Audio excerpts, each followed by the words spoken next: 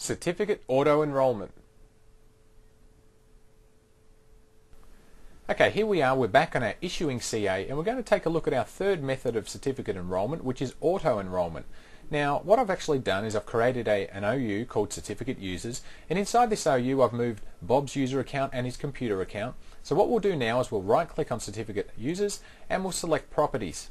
Then we'll come up here to the group policy tab and we'll create a new group policy and we'll just simply call this certificate and then we'll double click on our new policy to open up the uh, group policy object editor.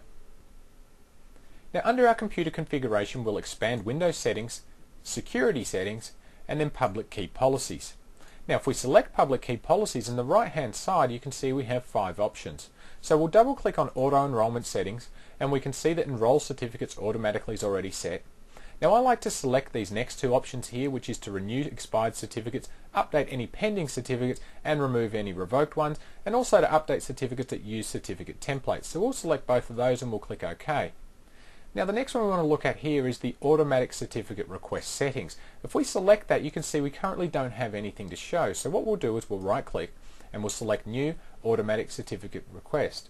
Now this just starts another wizard so we'll click on next now we get to choose from a list of certificate templates. Now we can create certificates based on computers, which are things like laptops and desktops and servers. We can also look at domain controllers, users issuing smart cards with the enrollment agent, and of course IPsec. So we'll choose the default, which is computer, and we'll choose next. And now our wizard's finished. Now the next thing we want to look at here is the uh, Trusted Root Certification Authorities. Now technically you won't have to do this, but you'll want to do it as if you don't, you'll have to install the Trusted Root CA hierarchy on your client computers manually. So what we'll do again is we'll right click and we'll select import. So this starts yet another wizard so we'll click next and now we need to provide the path to a certificate file that we've already created.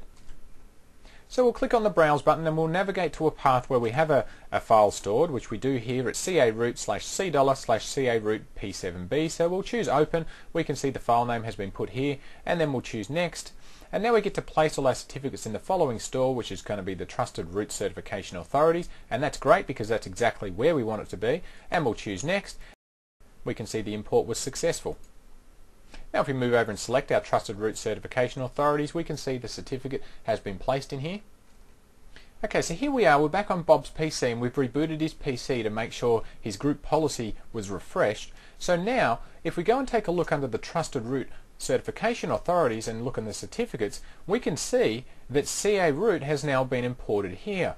Now if we go to our intermediate certification authorities and go under our certificates, we can also see that it's brought along our intermediate and issuing CA. So we can see that auto enrollment has applied here. Now at this stage, if we attempt to access our website, we'll still be told we don't have a certificate because if we go to his personal certificate site, we can see we don't actually have a personal certificate for Bob. Now this is because we haven't yet applied a group policy object for any user accounts, only the computer accounts. So let's go and do that now. Okay, so here we are, we're back on our issuing CA and we've completed the configuration for our computer accounts, but now we need to look at our public key infrastructure policies for our user accounts. So we'll come down here to user configuration and we'll expand Windows settings, security settings, and public key policies. In the right hand side you can see we have two options, Enterprise Trust and Auto Enrollment Settings. So we'll double click on Auto Enrollment Settings again and we can see that we are currently enrolling certificates automatically. Now again, as with before, I like to select these two options, which we'll do and we'll click OK. The next step is to come back here and open up our Certification Authority MMC. And we'll just expand this here. Now we'll come down and select our certificate templates. Now in the right hand side we can see a whole bunch of certificate templates that we already have.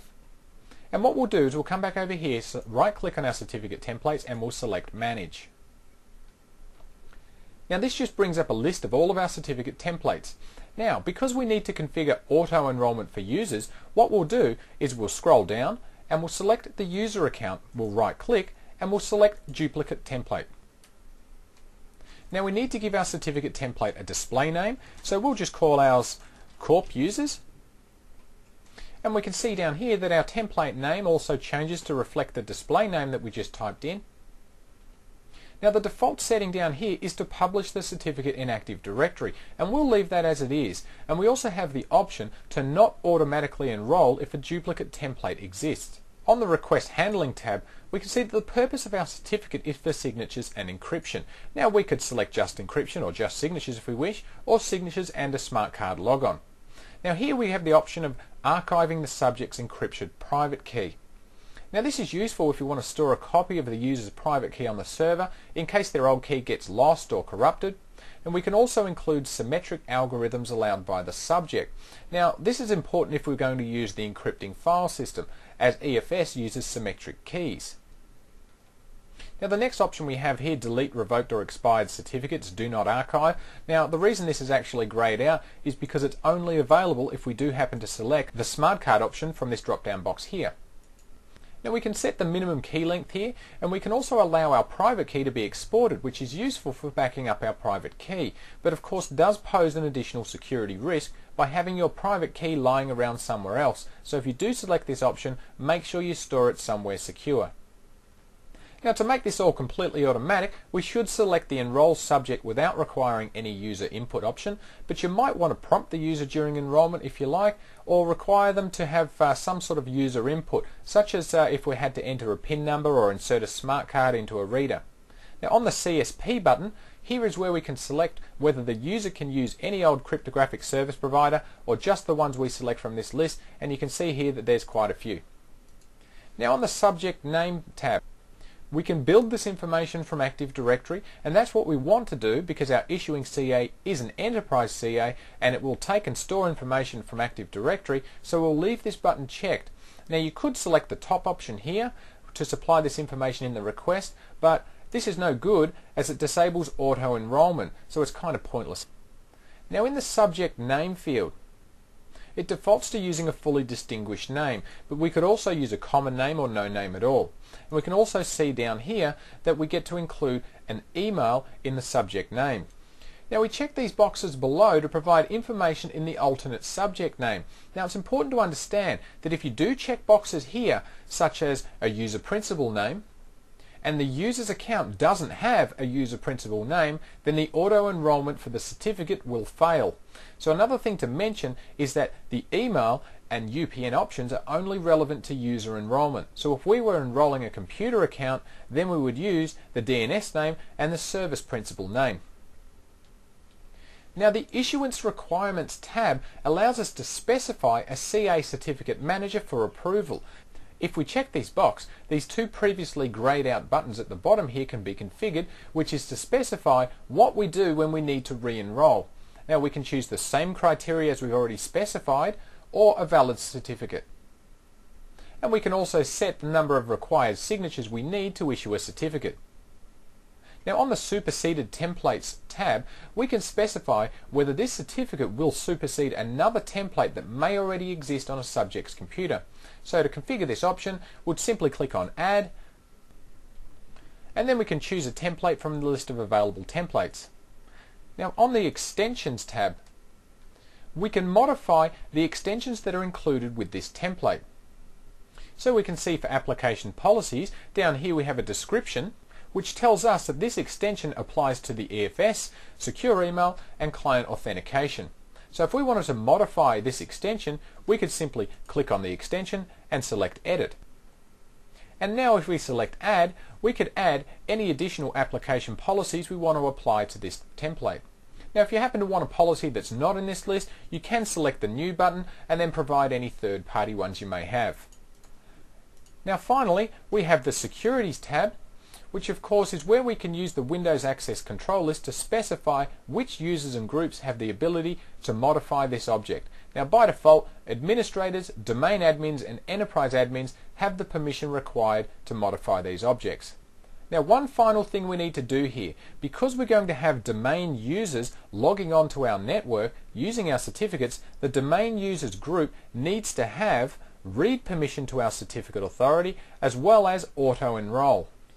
So make sure you select both of those, otherwise auto enrollment is not going to work for you. So we've done that, we'll click on OK.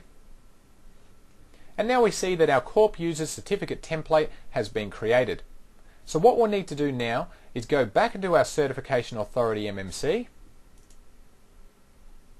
and we'll come back here to Certificate Templates. We'll right click, we'll select New Certificate Template to Issue and then we'll select our Corp Users template and select OK. And here we can see it's now been placed in our certificate templates list. So what we'll need to do now is log off our client and log back on to reapply our group policy and then our certificate should automatically be enrolled. Okay, here we are, we're back on Bob's PC, we've just rebooted his computer. We'll click on Start, Run, and we'll open up an MMC and we'll click on the File menu and open our Certificates MMC that we were using earlier. Now we can see that Bob now has a personal certificate which has been issued by our CA issue and of course uh, we can see that it's come from a corporate users OU that we created earlier. Now if we go to our trusted root certification authorities we can see that CA root has been put in there as our trusted root server and if we go to our intermediate certification authorities and look at our certificates, we can see the hierarchy here of uh, CA issue, CA inter and CA root have all been included. So if we click on our CA issue, we can see the certification path all the way back to the root. So we can see it took a little bit of effort to get here with regards to auto enrollment, but the benefits are certainly worth it because that means that your users, or yourself of course, don't have to now go and configure every single client automatically. So take the time to have a good look at auto enrollment. Setting up auto enrollment is decidedly more complex than either of the other two web enrollment or MMC methods that we looked at earlier. But of course the time savings you're going to get in the future is going to be well worth the effort you spend doing this now.